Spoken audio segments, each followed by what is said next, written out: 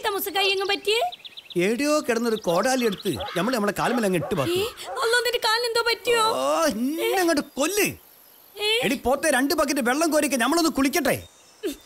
നിങ്ങൾ രാവിലെ കുളിച്ചു കുട്ടപ്പനായിട്ടല്ലേ പോയത്? ഏ? നമ്മൾ വന്ന് കോലം കണ്ടില്ലേ അതാണ് നമ്മൾ ആദ്യം അറിയാവുന്ന മലയാള ഭാഷയെ ചോദിച്ചത്. നിങ്ങൾക്ക് എന്തേത്താ പറ്റിയെന്ന്?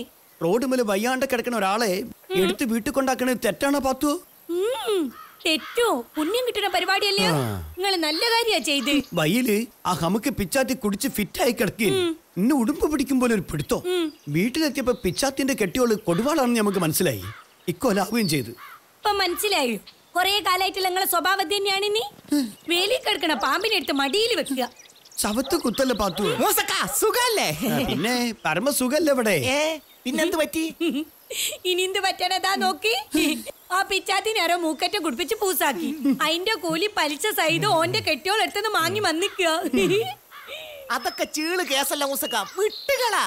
മൂസക്ക മാഞ്ഞനല്ലേ അതൊന്നും ആരും വിശ്വസിക്കാൻ പോകുന്നില്ല. ഇതിപ്പോ ഇതിപ്പോ രാത്രിയാന്ന് പറഞ്ഞ ആരെങ്കിലും വിശ്വസിക്കോ? ഇല്ല. പാത്തൂന് വിവരമുണ്ടെന്ന് പറഞ്ഞ ആരെങ്കിലും വിശ്വസിക്കോ? ഇല്ല.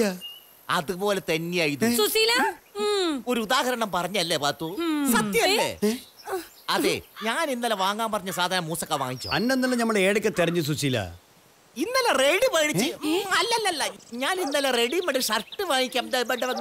റെഡിമെയ്ഡ് പാത്തുവോ? അകത്തൊരു അഞ്ചു കിലോ ശർക്കരന്റെ ബാഗ് ഉണ്ട് അടുത്ത് കൊണ്ട് വാ.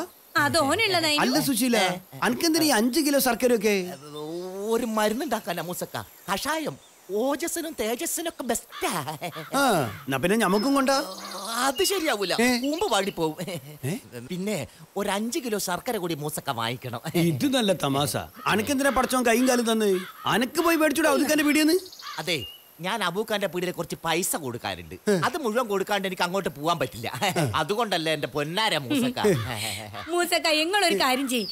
ഈന്റെ അകത്ത് ഒരു ചാക്ക് ശർക്കര വാങ്ങിക്കൊണ്ട് സുസീൽ സുശീലിന് ആവശ്യമുള്ളപ്പോ ഇങ്ങനെ കൊടുക്കാലോ? അത് നല്ല തമാശ. കേൾക്കാൻ നല്ല രസമുണ്ട്. അപ്പൊ ഞാൻ പോട്ടെ. അത് പഴയ ബാറ്ററി രണ്ടു ആ കത്തൂല. ആര് പറഞ്ഞു കത്തോലന്ന്. ആളി കത്തും. പഴയന് വീര്യം കൂടും. പോട്ടെ. ആളി കത്തും പോലെ.